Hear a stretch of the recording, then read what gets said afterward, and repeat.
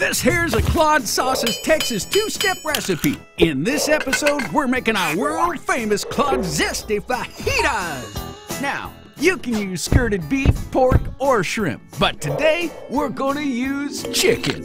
Step one, get yourself two pounds of chicken. You can use the breast, you can use the legs. It don't matter, cause a fajita gonna taste good top or bottom, and the chicken, it ain't gonna care one way or the other. Step two, grab a bottle of Claude's fajita marinade. Uh, here we go. Take one large tomato, cut it up in small wedges. Grab a red or green pepper and one medium onion and do the same.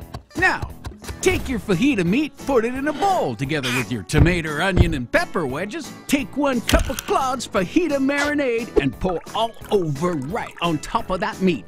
Pop that right in the fridge and let her sit for no more than an hour. Which means if you got hungry folk waiting on you, you'll need to get them to tend the TV for a bit. Or, if you're lucky, some housework. yeah, right.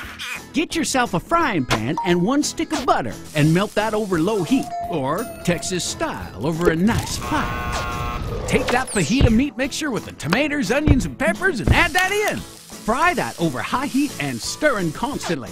Now your meat's gonna spring water on you, so you wanna make sure to pour out any liquid as you go, cause no Texan likes a soggy fajita. Once the meat is lightly browned, you are done. Serve that on a hot flour tortilla with some avocado, sour cream, and a chili sauce. Arriba, arriba! Now you're cooking like a Texan and eating like a king. And that's a Claude's Sauces Texas two-step recipe.